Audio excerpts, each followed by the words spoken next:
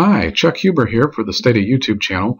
I'd like to show you how to compute Pearson's chi-squared and Fisher's exact test in Stata. So let's open some example data. Let's go under File and come down to Example Datasets. Click that, and we're going to click Example Datasets installed with Stata.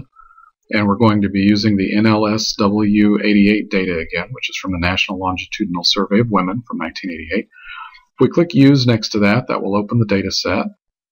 And let's take a look at our raw data very quickly. Let's click the data editor icon here at the top in browse mode.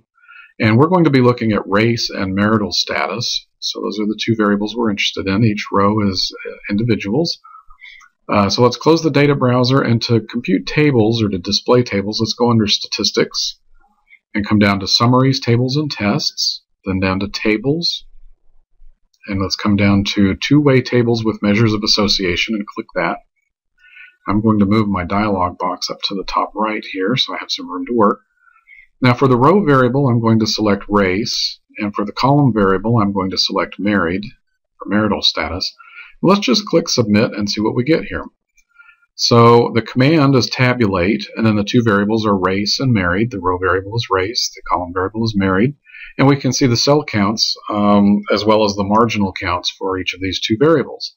Now, if we wanted to compute Pearson's chi-squared, we can come back to our dialog box here, and we have a whole list of test statistics that we can ask, ask Stata to compute. So let's check the box next to Pearson's chi-squared and click Submit. And now the results window, uh, if we look at in the results window, the command is still tabulate, the variables are still race and married, but we've added the option comma chi2 at the end, and that will compute Pearson's chi-squared for us. This is a two degree of freedom, two degree of freedom chi-squared, which equals 101.4215, and its p-value is equal to 0.000, maybe something we have further, but who knows. Um, if we wanted to see some details of this Pearson chi-squared, we could come over here under cell contents, and we could check the box next to uh, expected frequencies here, so we could see what the expected frequencies are in each cell. So, uh, so if we scroll back up and look at the command, we now have the options chi2 as well as expected.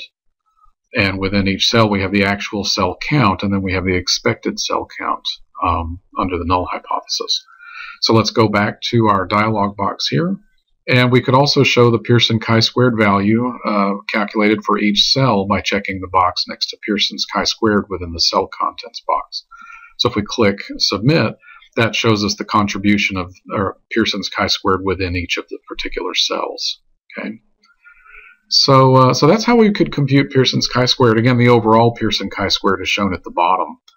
Um, but let's uncheck these, and let's say, in this case, our largest cell count, let me uncheck these and click Submit, so we just look at the raw table again.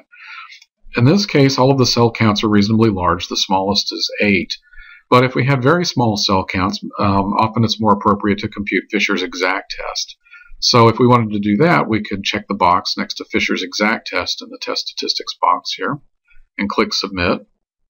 And then we will get a p-value for Fisher's exact test. In this case, the p-value is equal to 0.000.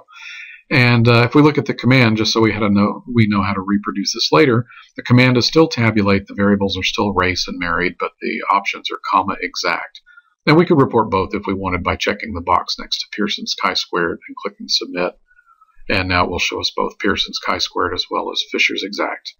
Okay, so that's how we do those. Uh, hope this was helpful, and thanks for stopping by.